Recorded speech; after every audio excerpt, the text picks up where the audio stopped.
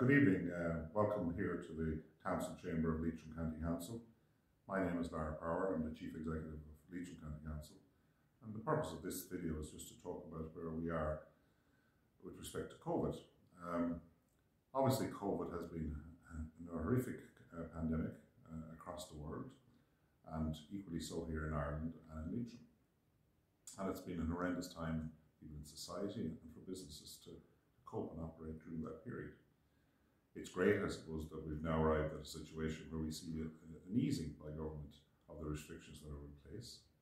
And to that end, I um, have a huge welcome uh, to the people, the traders coming back to business and the business community, going back to their place of work to trade.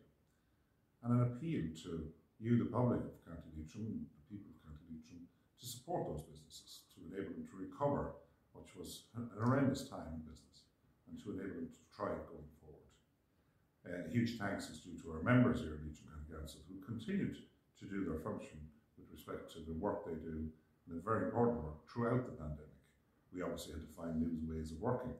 And a huge thanks is also due to the staff who again had to adjust their ways of working, but we endeavoured to do all the services humanly possible throughout the COVID uh, pandemic period. Um, also, we work very closely and hand in hand with government to assist businesses through the pandemic.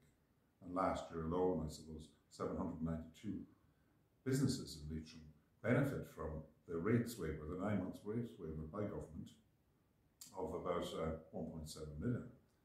On top of that, we administered the Restart Grant and the Restart Plus Grant, which benefited about 469 businesses here in Leitrim to the tune of 4.2 million.